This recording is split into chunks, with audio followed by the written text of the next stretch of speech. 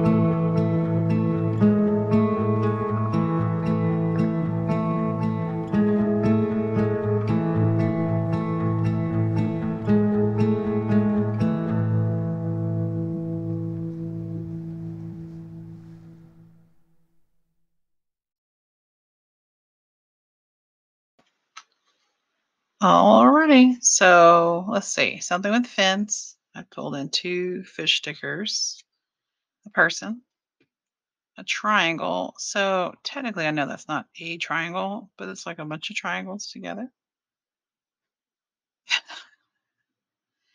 um, a game piece, which is my pocket. Uh, a date. I found a couple dates to put up there from my little ephemera book uh, or my little labels book. And contraption, decided to go with that hot air balloon thing with the, I don't know what those are, like propeller type things. All right, guys, let me trim this down.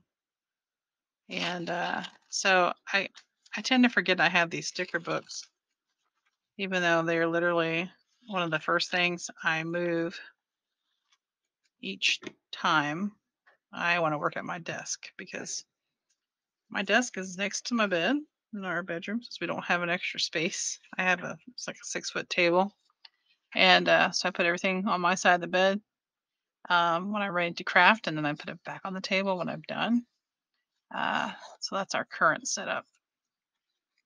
Anyways, we'll slide that in there like so. Have it poking out a little bit. Um, and I forget, so I was saying, I forget that I have these. And they have a lot of good stickers on there that fit uh, some of these prompts. And um, they're colorful, you know. Um, and technically, you're supposed to add scrapbook paper or paper in the background. And I sometimes forget to do that. Um, so I just pulled out a piece of digital that I already had printed and know, it was a scrap and I needed to use it up. So what better way? So we got a flying fish up here. I guess I should have put the flying fish up there. All right, everyone. Um, I appreciate your time. Uh, if you like the video, give it a thumbs up. And um, are you participating in the Margarete Miller Collage Challenge? Did you do it in the past? Are you doing it now? Are you going to do it in the future? This is my second year. Uh, luckily, I'm going slower because if you've been with me since the beginning, I crammed 2022 into two months and uh, it was a little stressful, but I got it done. Um, that being said, will I do it next year? I don't know. Um, you know, I'm one of those I gotta try to keep up with the challenges. I'm a little behind on some things, and it's bugging me. So, um, I don't know. I might take a break next year. We'll see. Um, but for now, I'm enjoying it. All right. Uh, so until the next one, everyone. Bye bye.